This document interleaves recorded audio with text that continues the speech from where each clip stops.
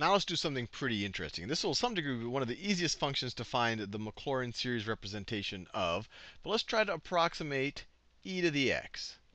f of x is equal to e to the x. And what makes this really simple is when you take the derivative, and this is frankly one of the amazing things about the number e, is that when you take the derivative of e to the x, you get e to the x. So this is equal to f prime of x. This is equal to f the second derivative of x. This is equal to the third derivative of x. This is equal to the nth derivative of x. It's always equal to e to the x. That's what's that's what, kind of the first mind-blowing thing about the number e. That's it's it's just, just you can keep taking its derivative. The slope the slope at any point on that curve is the same as the value of that point on that curve. That's kind of crazy.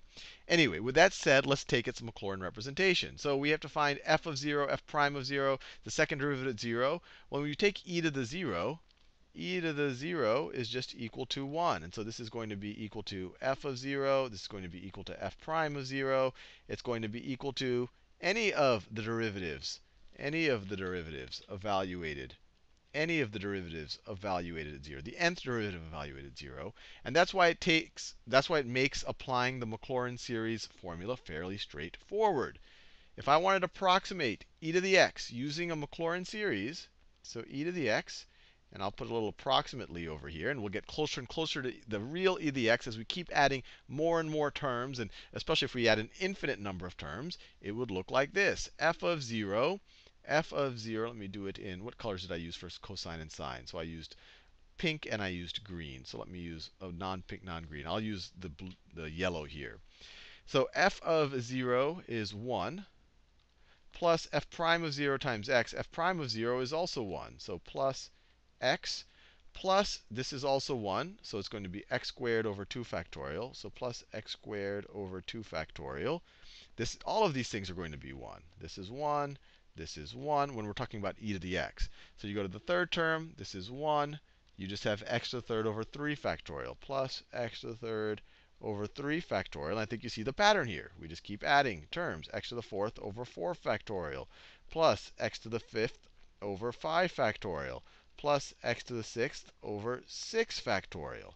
And something pretty neat is starting to emerge is that e to the x1, this is just really cool, that e to the x can be approximated by 1 plus x plus x squared over 2 factorial plus x to the third over 3 factorial. Once again, e to the x is starting to look like a pretty cool thing. This also leads to other interesting results, that if you wanted to approximate e, you just evaluate this at x is equal to 1. This isn't, so this is, so if you wanted to approximate e, you'd say e is approximate to e, well, e is e to the first power, and that's going to be approximately equal to this polynomial evaluated at 1. If x is 1 here, we make x 1 over here. So it'll be 1 plus 1.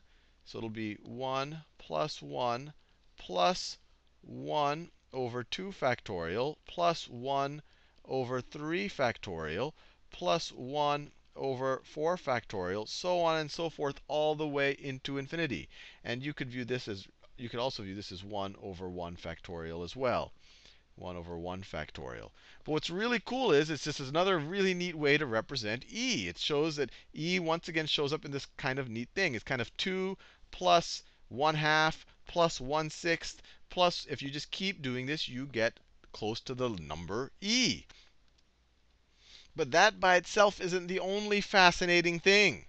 If we look back at our Maclaurin representations of these other of these other functions, cosine of x, let me copy and paste cosine of x.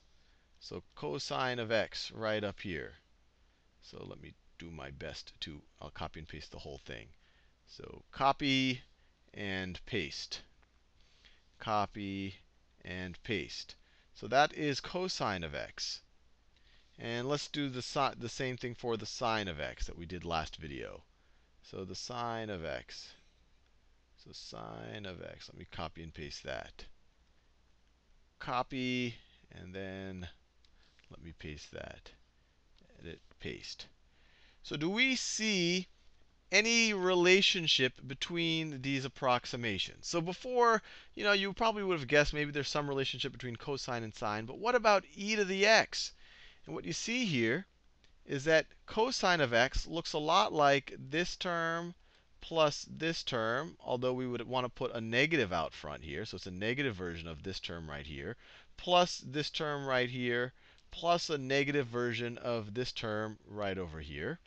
And sine of x, sine of x looks just like this term plus a negative version of this term plus this term plus a negative version of the next term. So if we can somehow reconcile the negatives in some interesting way, it looks like e to the x is somehow, or at least its polynomial representation of e to the x, is somehow related to a combination of the polynomial representations of cosine of x and sine of x. So this is starting to get really, really, really cool. We're starting to see a connection between something related to compound interest or a function whose derivative is always equal to that function, and these things that come out of the unit circle and oscillatory motion and all of those things, there starts to see, seem some type of pure connectedness here. But I'll leave you there in that video, and in the next video, I'll show you how you, we can actually reconcile these, these three fascinating functions.